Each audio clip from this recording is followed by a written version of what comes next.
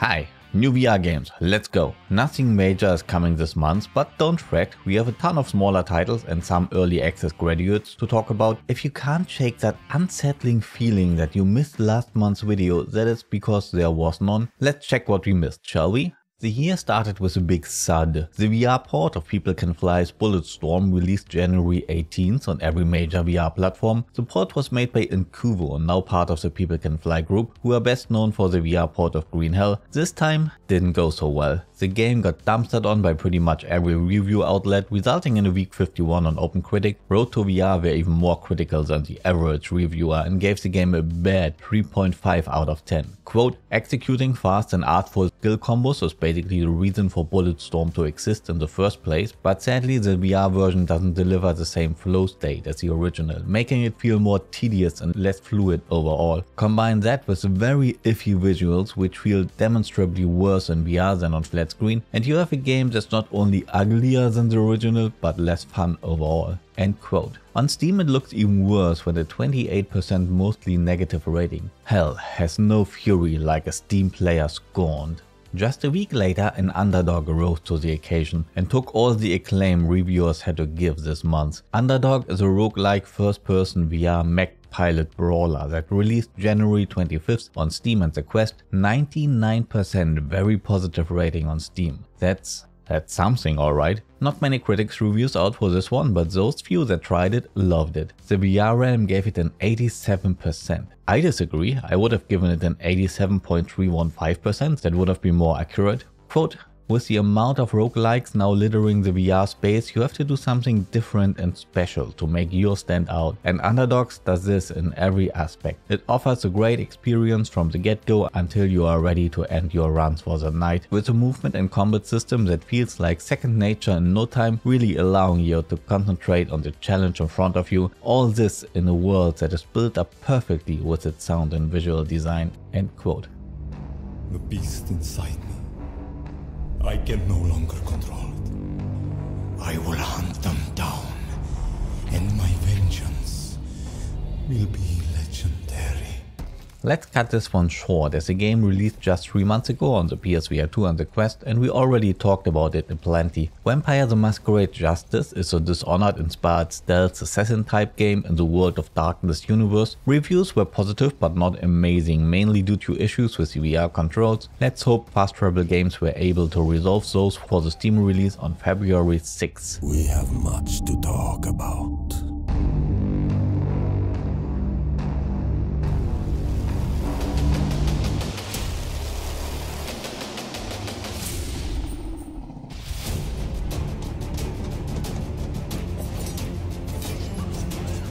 Mixture is a small platformer that originally released a year ago on the Quest. It's a mixture of third-person platforming with first-person interactions as it was established in games like Astrobot Rescue Mission or Moss. This time you play as two distinct characters, the exiled knight Solas, whom you'll control in third person, and the master alchemist Zephyrus. Zephyr? Not Sephiroth, definitely not Sephiroth, whom you'll control in first person. There will be platforming and alchemy and puzzle solving and boss battles. I feel like the game kinda flew under the radar, I certainly missed it and you'll have a hard time finding reviews for it. If you have a PSVR 2 you'll be able to form your own opinion on February 6. The Steam release is planned for later this year. On the news. they seem to be calling you number one. And this gets us to why you are here. Good morning. It's not yet a full-on robot uprising, but some bots seem to behave oddly. As a result, travel was restricted and border checkpoints implemented. As a human, you are perfectly suited for the job of border agent. Check each robot's papers for discrepancies, oddities or undeclared modifications. Maybe you'll even find contraband. For a job well done, you'll earn credits to upgrade your booth and to customize your home. It's a blend of Job Simulator and a very lightweight Papers, Please, published by Team 17, a further venture into VR after the in-house developed Killer Frequency. Border Bots is slated to release on all major VR platforms on February 8th. Please select the one which most closely aligns with your emotional state.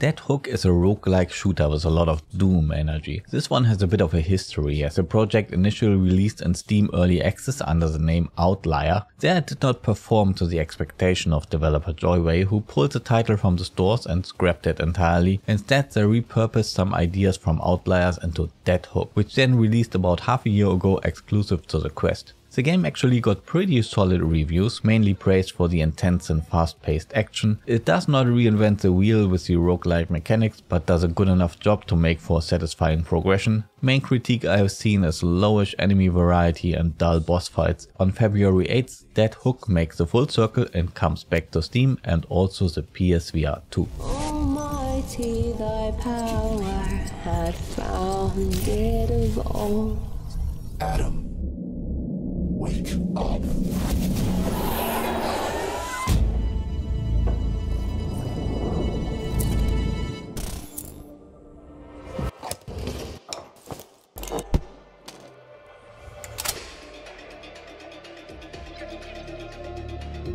What if you took a popular and influential flat game like Escape from Tarkov and tried to recreate that concept in VR? The newly formed developer Combat Waffle Studios asked and answered that question. The answer is $10 million in revenue in its first year of early access. Ghosts of Tabor was the last year's surprise success story. Apparently an extraction shooter was exactly the thing the VR community was waiting for. So yeah, it's basically Escape from Tarkov in VR, not much more to say about it. Gear up, go out into the world, loot what you can, maybe complete the trader quest or two and try to make it out alive or you'll lose everything you brought with you. This month on February 8th, Ghosts of Tabor graduates from the app lab to the main quest store. On Steam the game will still remain in early access though until later this year. Development is not concluded, there are things to come for Ghost of Tabor. Also no date on the PSVR 2 version yet, might come together with a full release on Steam, maybe.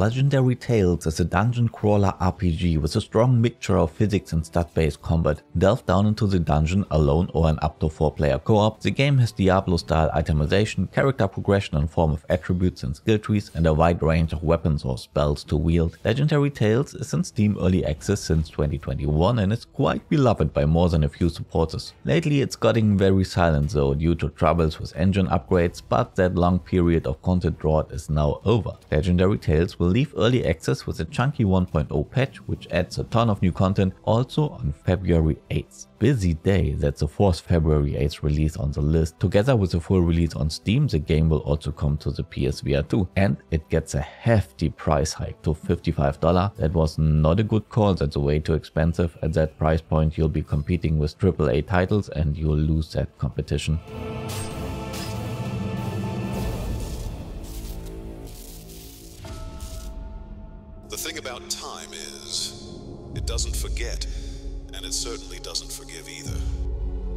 Now, let's say one were to try and surpass the rules of Mother Nature.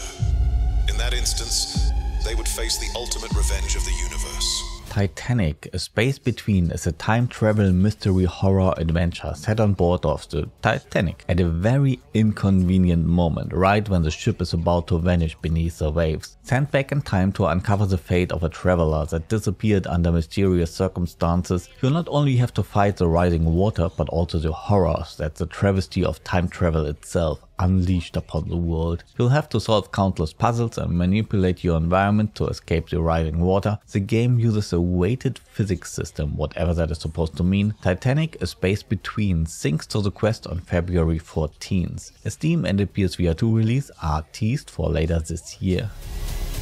Hell, Marvin, I'm gonna die here. You screwed me.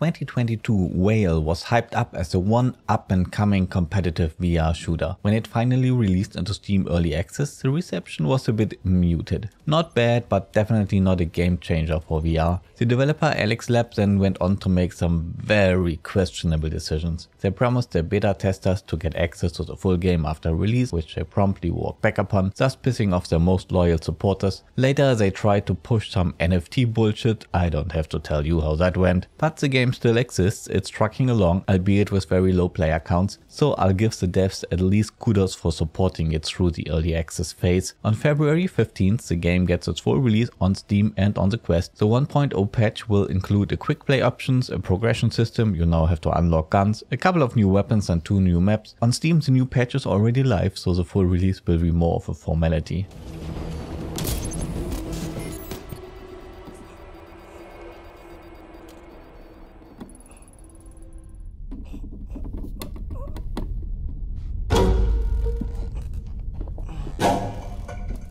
Your name is Luca. You live on the second floor. Oh, wait, I don't know where you live actually. But you are forced by a sinister demon called Madison to complete an ancient dark ritual. That is the premise for Madison, a first-person horror game created by a very small team that released to general critical acclaim as a flat game in 2022. A major part of the gameplay involves a Polaroid camera which serves as a bridge into the world of the dead and is used by the player to solve puzzles, find secrets or drive away demons. According to the studio, bringing the game to VR was planned since development started in 2016. Apparently shaking your Polaroid is very satisfying with motion controls. Madison VR created in-house by Blood Melodious Games is slated for a release on Steam and the PSVR 2 on February 20th.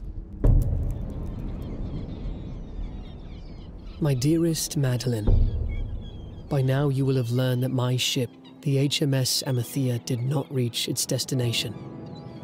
We encountered turbulent seas and a mighty storm brought her down, myself being the sole survivor a lone survivor of a shipwreck, stranded on a desert island. This sounds like a premise to a box standard survival game like Stranded Deep, but Bootstrap Island is not that game. Instead, it is a hardcore survival roguelike. You will be on your own, you will have to figure stuff out on your own, you will die and when you do you will have to start from scratch. But maybe this time you learn something new that will increase your chances to make it just a little bit longer on your next run. I played a demo for this one in December and while that was fairly light on content, I was impressed by the highly immersive VR mechanics. The developers know how to make seemingly simple interactions into something special in VR. Never before has opening a coconut to get to that sweet and so refreshing milk in its innards such a satisfying experience. Bootstrap Island launches into Steam Early Access on February 22nd. It's early access so don't expect a finished product but the core mechanics should be in the game.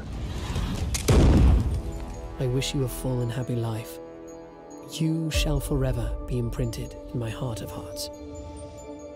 This mystifying story unfolded many moons ago as the elder of two brothers, it was to be your destiny to inherit the throne to the kingdom, but out of jealousy or spite, your younger sibling framed you for your father's death and you had to flee deep into the woods. There you encountered and learned from the woodland spirits. With their help, it is your task to reclaim what was rightfully yours. This is a tactical RPG adventure. You will summon minions via cards that rest on your left arm to fight for your cause. Your right arm is imbued with powerful magic you can wield to aid your minions in battle. Rock and Roots is scheduled for release on February 28th on Steam and the Quest.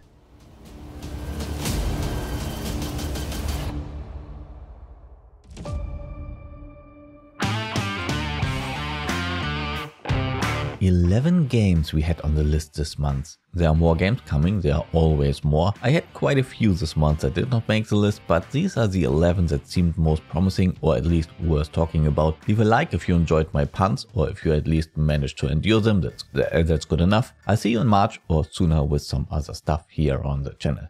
Tschüss.